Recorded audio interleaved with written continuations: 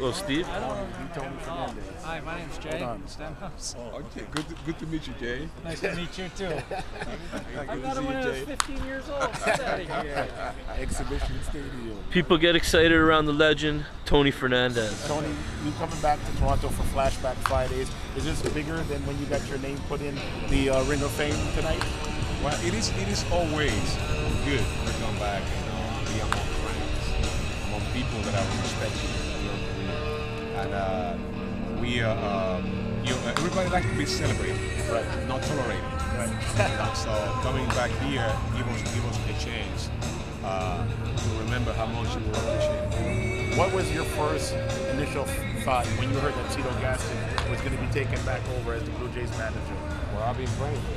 I was praying for that moment. Uh, and I think we all, uh, when he will be reinstated in his position, uh, somehow I say I wanted him to finish his career with dignity.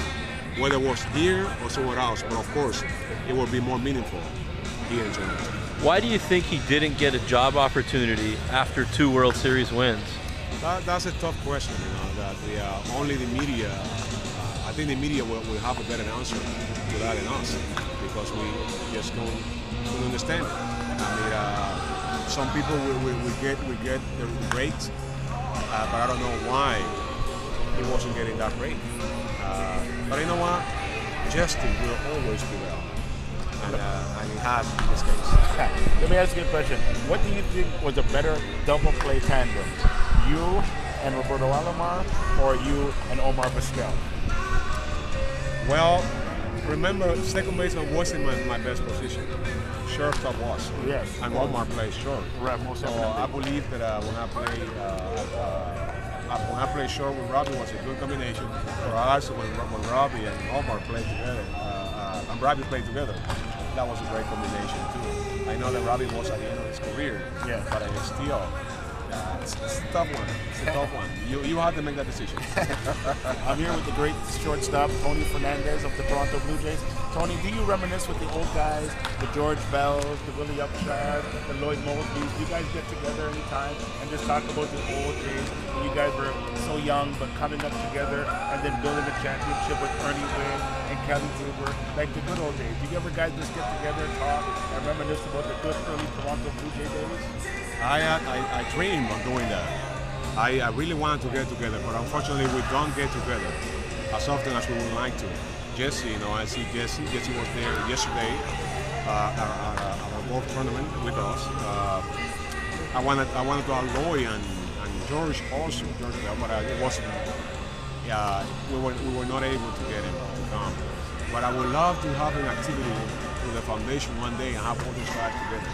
And like you say, you know, uh, uh, be able to, to look back on those days, uh, whether you, whether you can you can talk about the good old days. Right. And just one more question. You look over on the other side of the field and you see Mike Timlin still playing baseball, still pitching, and nevertheless still effective. Does that shock you that a pitcher he used to throw hard for the Blue Jays? He's about 45 years old and he's still throwing hard. Do you, do you, what about you think about his longevity in this sport as a pitcher? Uh, no, I think that's a tribute to him.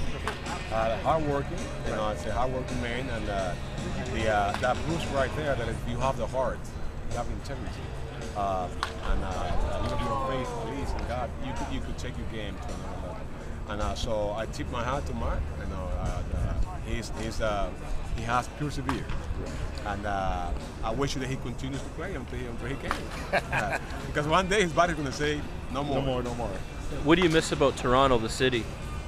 Uh, I would I would say the the, uh, the people, you know, uh, the warmth of the people, uh, the acceptance of people, you know, the city. Uh, my, my family felt here comfortable. They felt at home. Uh, I miss I miss them. I miss like like like because it's part of my country. It's like it's like being. Uh, I feel like sometimes like I was born here. Right. It's my second country. Right. So I miss that. Uh, a sense of protection that I used to get here. Was that devastating to you when you got traded to the San Diego Padres? Uh, Was that a devastating thing because Toronto was in love with your team? Toronto used to fill this up with 50,000 fans. Uh, it was hard. It was hard because this was a home. Like I said, I was, this was home. Right. It was my second home. Right. But, uh, it, it was hard. Uh, But I, it never hit me until I, I played my first game in San Diego when I heard the, uh, the Canadian national anthem. Right. That's when it hit me that I wasn't that I wasn't normal. Thank you very much. Great My shortstop, Tony Fernandez of the Toronto Blue Jays. Thank you. All right. Thank you, sir. Okay. Thank you. Appreciate that to the man. Have All a right. beautiful Take night. care. Thank you.